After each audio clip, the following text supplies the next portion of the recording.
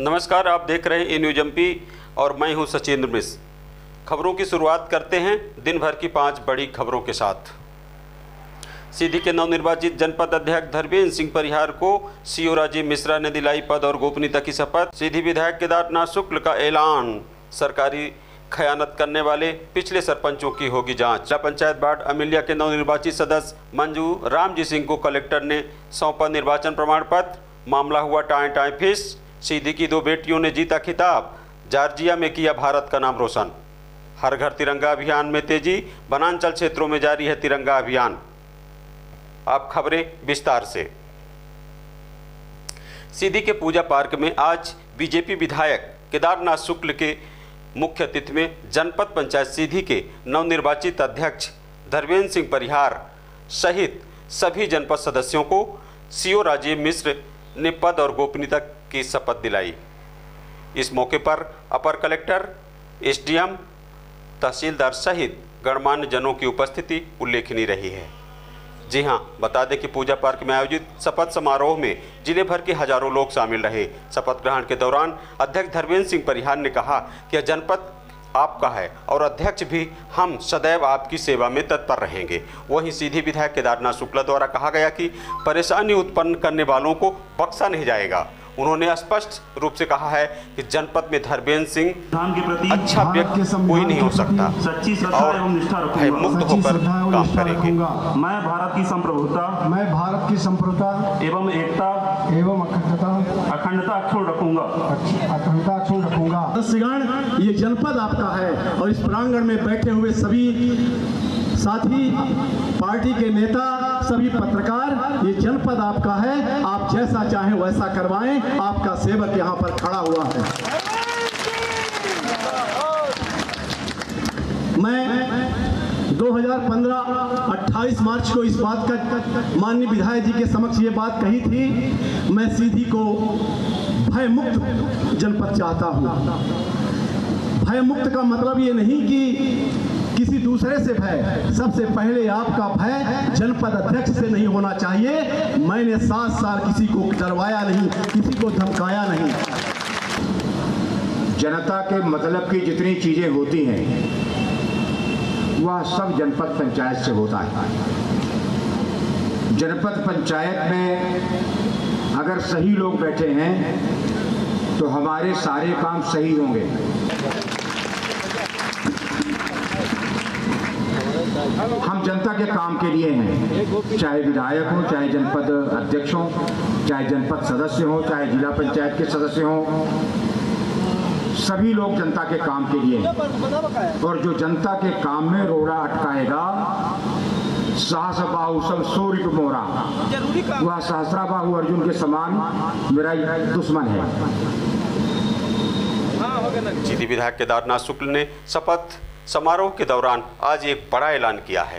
कहा है कि पिछले पंचवर्षीय में अधिकांश ऐसे पंचायतें रही हैं जहाँ के सरपंच साहबान सरकारी खजाने की खयानत की है। उन्होंने सीओ को निष्पक्ष जाँच कराए जाने की हिदायत भी दी है। सीधी विधायक केदारनाथ शुक्ला द्वारा आज भरे मंच से भ्रष्टाचारी सरपंचों को चेतावनी देते हुए कहा है कि ऐसे लोग जिन्होंने गरीबों का पैसा खाया है या उस पर गमन किया है, उन्हें बख्शा नहीं जाएगा। उन्होंने साफ़ तौर पर कहा है कि ऐसे लोगों के खिलाफ कानूनी कार्रवाई की जाएगी। और मैं ऐसे लोगों को छोड़ने वाला नहीं हूँ। इसलिए मेरा आग्रह है, ऐसे लोग अपने अंदर सुधार कर लें आज की सभा को देखकर, आज की सभा में उपस्थित होकर। कि कभी जनता के काम में रोड़े अटकाने की कोशिश नहीं करेंगे। और जनता के काम में रोड़े अटकाना माने ईश्वर का काम रोकना है। ईश्वर ने विधान बनाया है गरीबों की सेवा का। और हम गरीबों की सेवा के लिए तत्पर हैं। चेक में दस्तखत करने का पावर केवल सरपंच को है। इसलिए सरपंचों से मेरा आग्रह है कि आप ऐसे चेक में दस्तखत न कर दीजिए कि कल को जेल जाना पड़े। बहुत सारे सरपंच निगाह में ऐसे हैं, जिनके जेल जाने का नंबर है।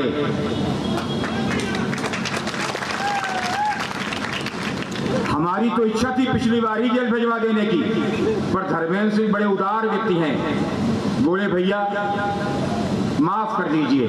हमने कहा, मैं माफ़ तो नहीं करता हूँ पेंडिंग कर देता हूँ।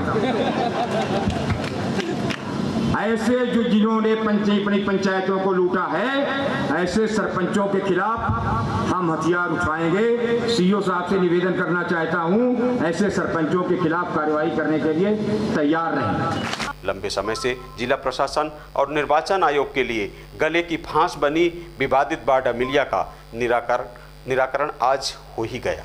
अमिलिया के नवनिर्वाचित सदस्य मंजू रामजी सिंह को आज कलेक्टर एम आर खान द्वारा प्रमाण पत्र सौंप दिया गया है। बता दें कि काफ़ी उठापटक के बाद अब मामला सुलझ गया है और आगामी 13 अगस्त को जिला पंचायत के अध्यक्ष पद हेतु चुनाव भी कराए जाएँगे। जिला पंचायत सदस्य मंजू राम जी सिंह द्वारा अध्यक्ष पद की दावेदारी प्रस्तुत करने की भी आज बात कही गई है। जी, उचित नहीं था, लेकिन उस बारे में कुछ भी नहीं कहना चाहती। ये काम था। उनके कर्म उनके साथ में है, हमारा कर्म हमारे हाथ में है। जी, बस, और उनके बारे में कुछ जनता का सहयोग था मेरे साथ, मैं जनता का जितना हो सकेगा सहयोग करने का प्रयास करूँगी। मैं बिल्कुल विचलित नहीं हुई, इतनी समस्याएँ समस्याएँ आई और हटी। मैं बिल्कुल विचलित नहीं हुई, मुझे विश्वास था कि जीत हुई है तो मेरी ही जीत होगी। जितने भी हमारे बड़े नेता हैं, माननीय लोग हैं, मैं सबका उनका आशीर्वाद प्रणाम करता हूँ। और रह गई बात जो हमारे साथ विरोधी है मैं उनको भी धन्यवाद देता हूँ कि इस जीत में उनको संतुष्टि नहीं थी तो हाई कोर्ट गए थे। हाई कोर्ट से भी हमें जीत सुनिश्चित हुई है। मैं उनको बार बार धन्यवाद देता हूँ। हाँ हमारी पूरी तैयारी है और सबका आशीर्वाद मिलेगा। जो हमारे सत्रह वार्ड के सदस्य हैं, सभी सदस्यों से सबका आशीर्वाद मिला है और मिलता रहेगा। और सभी भाई बंधुओं का आशीर्वाद मिलेगा तो अपना अध्यक्ष पद के लिए भाग में लगे हुए हैं और बनेंगे भी।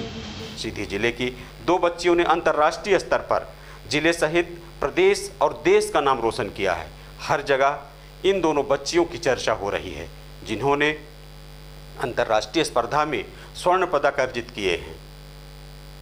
जी हाँ भारतीय वुशु टीम में मध्य प्रदेश से तीन खिलाड़ियों का चयन हुआ था, जिसमें से सीधी की दो बेटियाँ गीतांजलि त्रिपाठी और प्रियंका केवट भी शामिल है, जिन्होंने जॉर्जिया में अंतर्राष्ट्रीय स्पर्धा स्वर्ण पदक अर्जित किया है। बात करें दोनों बेटियों की तो प्रियंका जहाँ एक सामान्य गरीब परिवार से है तो वहीं दूजे गीतांजलि त्रिपाठी, अमिलिया में पदस्थ एएसआई विनोद त्रिपाठी की पुत्री है, जिन्होंने ज़िले का पर ख्यात दिलाई है। ज़िले भर में इन दोनों बच्चियों को बधाई देने वालों का तांता लगा हुआ है और हर कोई इनकी प्रशंसा कर रहा है। गीतांजलि और प्रियंका ने स्वर्णिम सफलता के साथ अंतर्राष्ट्रीय स्तर पर सीधी का नाम ऊँचा किया है। भारत सरकार द्वारा चलाए जा रहे हर घर तिरंगा अभियान के तहत ज़िले के बनांचल क्षेत्र भुईमाड़ में लोगों को जागरूक करने हेतु तिरंगा यात्रा निकाली गई, जिसमें आमजन, पुलिस के अधिकारी, कर्मचारी एवं छात्र छात्राएँ शामिल हुए हैं। बस आज के लिए इतना ही। आप बने रहे ई न्यूज़ एमपी के लिए बहुत बहुत धन्यवाद। सर्व सुविधा युक्त मैरिज गार्डन नवढ़िया में सीधी शहर से समीप बीआरएस पैलेस नोढ़िया आधुनिक सुविधाओं से है परिपूर्ण।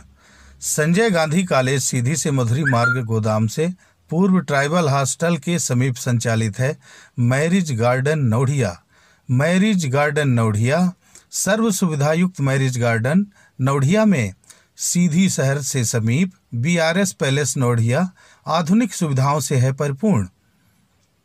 जी हाँ शहर से सुंदर और सस्ता यहाँ पर शादी, तिलक, सालगिरह, बर्थडे पार्टी, मीटिंग सहित सभी शुभ उत्सव हेतु संपर्क करें। अनंत पाली क्लिनिक। अनंत पाली क्लिनिक सीधी में हर रविवार को योग्य और अनुभवी चिकित्सकों के द्वारा विभिन्न रोगों का इलाज। MBBS doctor Dinesh Kumar, doctor Pankaj, doctor Ashish Ghanghoriya हर रविवार और डॉक्टर एम के महेश्वरी हर माह के अंतिम गुरुवार को सीधी के अनंत पाली क्लिनिक में देंगे परामर्श और करेंगे समुचित उपचार। अधिक जानकारी के लिए एलआईसी ऑफ़िस के सामने कलेक्ट्रेट रोड स्थित अनंत मेडिकल स्टोर से संपर्क करें और पाएँ विभिन्न बीमारियों से निजात।